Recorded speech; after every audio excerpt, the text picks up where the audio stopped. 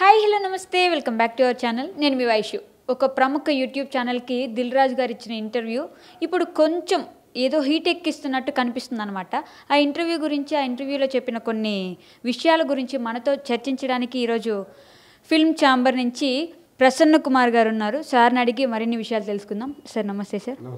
ఎలా ఉన్నారు?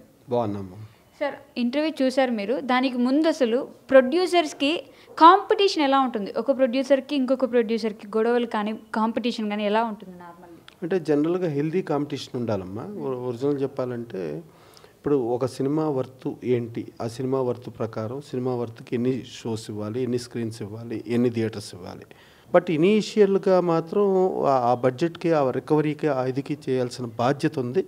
ఇది స్ట్రైట్ అవే మనకు త్రిబుల్ ఆర్ విషయంలో కానీ లేకపోతే ఆచార్య విషయంలో కానీ లేకపోతే కేజీఎఫ్ ఈ విషయాల్లో వీళ్ళందరూ ఇండస్ట్రీ మొత్తం మాట్లాడిన మ్యాటరే అది.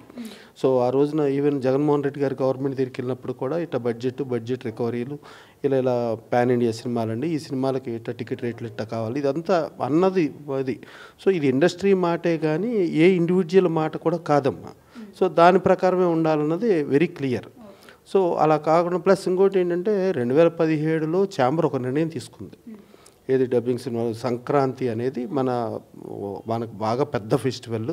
ఆ సంక్రాంతి దసరాలో ఇది అని చెప్పి తర్వాత తీసుకున్న రెండు వేల పదిహేడులో నిర్ణయం అయినా కూడా రెండు వేల పద్దెనిమిదిలో ఇబ్బంది లేదు కదా అని చెప్పేసి గ్యాంగ్ అనే సినిమా స్టూడియో జ్ఞానవేల రాజా గారి గ్యాంగ్ సినిమాని ఎలవ్ చేసింది. గ్యాంగ్ సినిమాకి కూడా ఈక్వలెంట్గానే అది వచ్చింది. తర్వాత రెండు వేల పంతొమ్మిదిలో ప్యాట్ వచ్చినప్పుడు మా స్ట్రైట్ సినిమాలు ఉండగా ఒక డబ్బింగ్ సినిమాకి ఎట్టా అనేది దగ్గర రాజుగారు చాలా క్లారిటీగా చెప్పారు. అది అయిపోయింది. అయిపోయి రెండు వేల ఇరవై ఆ జోన్లో వచ్చేటప్పటికి మళ్ళా మాస్టర్ సినిమా కూడా పొంగల్ సినిమాకి రిలీజ్ అయిందమ్మా. అంటే ఆల్రెడీ అప్పుడు రెడ్ అల్లుడు అదుర్సు క్రాకు ఇవన్నీ ఉండగా కూడా మాస్టర్ సినిమా ఇది అయింది అయింది గౌరవంగానే చూశారు. సో మనం ఏమంటున్నామంటే హండ్రెడ్ పర్సెంట్ ఈ స్ట్రైట్ వంద నుంచి రెండు వందల కోట్ల బడ్జెట్ సినిమాలకు అన్యాయం జరగకుండా వారసుడు కూడా అడ్జస్ట్ చేయమని చెప్తున్నాం కానీ మనం ఏం చేయట్లేదు మనం ఏమంటున్నామంటే ప్రథమ ప్రాధాన్యత స్ట్రైట్ సినిమాలకు ఇవ్వండి. సంక్రాంతి. సంక్రాంతి అనేది ప్రపంచంలో ఉన్న తెలుగు వారందరూ విలేజ్లకు వచ్చి విలేజ్లో ఆటపాటలతో పాటు సినిమా కూడా ఒక పార్ట్ అండ్ పార్సల్ కాబట్టి అది చెయ్యండి చేసి మిగతా సినిమాలు డబ్బింగ్ సినిమాలకి అదర్ సినిమాలకు కూడా ప్రొవైడ్ చేయండి. మనను మనం బ్రతుకుతూ బ్రతికించండి అని చెబుతున్నాం. లివ్ అండ్ లెట్ లివ్ అంతే తప్పితే దీంట్లో వేరే కాంట్రవర్సీ వేరే డిస్కషన్ లేదు. ఇది క్లియర్గా ఇండస్ట్రీలో తీసుకున్న నిర్ణయం ప్రకారమే ప్రొడ్యూసర్స్ కౌన్సిల్ ఇవ్వటం జరిగింది. సో అంతే తప్పితే దీనికి ఏం వేరే ఇది కాదమ్మా. అంటే సార్ ఆ మాట చెప్పింది కూడా దిల్ రాజు గారు. ఎప్పుడు టూ థౌజండ్ సెవెంటీన్లో ఆయన చాలా క్లియర్గా చెప్పారు. తెలుగు స్ట్రైట్ మూవీస్ ఉన్నప్పుడు ఖచ్చితంగా తెలుగే నైన్టీన్. ఓకే. పేట వస్తే ఆపారు కూడా దాన్ని. ఏంటి? చివర్లో ఏమైనా ఉంటే. అప్పుడు కూడా రజనీకాంత్ గారు అయితే మాకేంటి ఎవరైతే మాకేంటి? అనేది కూడా క్లియర్గా మాట్లాడారమ్మా. వారిసుడు కూడా Tamil cinema straight Telugu cinema కాదు. పైగా మొన్న ఈ మధ్య ప్రొడ్యూసర్స్ ఏమంటారు బంద్కు పిలుపునిచ్చారు. బంద్లో సినిమాలు ఏం జరగొద్దని షూటింగ్ ఆపేశారు. కానీ వారిసుడు షూటింగ్ అప్పుడు కూడా జరుగుతూనే ఉంది. ఏమని అంటే అది తమిళ్ సినిమా తెలుగు సినిమా కాదు తెలుగు సినిమాలు కదా ఆపేశామని. బట్ ఇప్పుడు సంక్రాంతికి రిలీజ్ అనగానే బైలింగ్వల్ సినిమా తెలుగు తమిళ్ అన్ని భాషల్లో ఉంటుంది. సో అన్నిటికీ రిలీజ్ చేస్తాము. అప్పుడు చెప్పిన సిచ్యువేషన్ వేరు ఇప్పుడు చెప్పిన సిచ్యువేషన్ వేరు అన్నారు. అది ఎంతవరకు కరెక్ట్ అంటే ఇప్పుడు చాలా క్రిస్టల్ క్లియర్గా ప్రొడ్యూసర్గా ఆయన చెప్పారు డైరెక్టర్గా కూడా చెప్పారు it's only Tamil film Tamil film ఇప్పుడు ఇంకోటి ఏంటంటే నేను అడిగేది ఒకటే ప్రశ్న అమ్మ. వారసుడు తమిళ్ళో ఎన్ని స్క్రీన్స్ ఎన్ని షోస్ ఇస్తారో? వాల్తేరు వీరయ్యకి వీరసింహారెడ్డికి అన్నే షోస్ అన్నే స్క్రీన్స్ ఇస్తారా అని నేను తమిళ నిర్మాతలని తమిళ దర్శకుల్ని తమిళ డిస్ట్రిబ్యూటర్స్ ఎగ్జిబిటర్స్ని నేను అడుగుతున్నా. మీరు మేము మేము ఇప్పుడు దాకా చూసుకుంటే తెలుగు సినిమాలకి తమిళ నుంచి వచ్చే సినిమాలకి మేము ఇక్కడ తెలుగు సినిమాలుగా ఆదరించి మేము ఎన్ని కోట్ల రూపాయలు ఇచ్చాము ఎంతమంది స్టార్ హీరోలుగా చేసామో మేము ఉన్నాం. సో మీరు ఇవాళ వారసుడు ఇప్పుడు వారసుడు డెఫినెట్గా చెప్పాలంటే ఒక తమిళ సినిమా కాబట్టి తమిళ సినిమాగా దాని బడ్జెట్ ఎక్కువ కాబట్టి ఆ బడ్జెట్కి తగ్గట్టుగా అట్లా ప్రొవైడ్ చేసుకుంటూ దాన్ని బట్టి చేయమని అంటున్నాం. కానీ వాళ్ళు లేదు మీ మీరు ఇలా చేస్తే మేము అలా మేము అలా చేస్తే ఇలా అంటున్నారు కదా.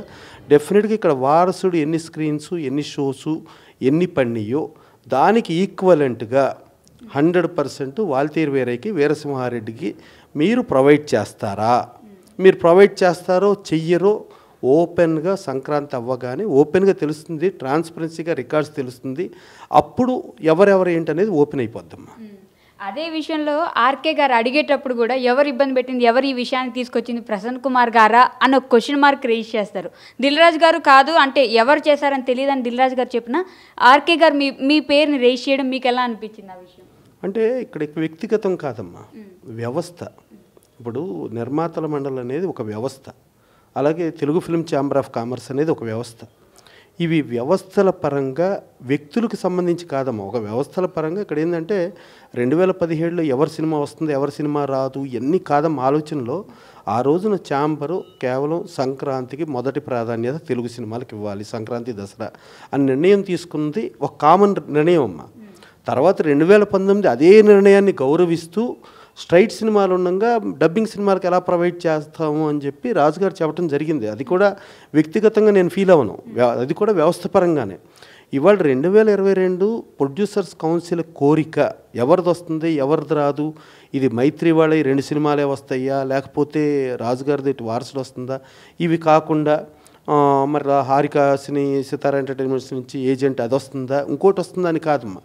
మనం మాట్లాడేది ఏంటంటే సంక్రాంతి మొదటి ప్రాధాన్యత.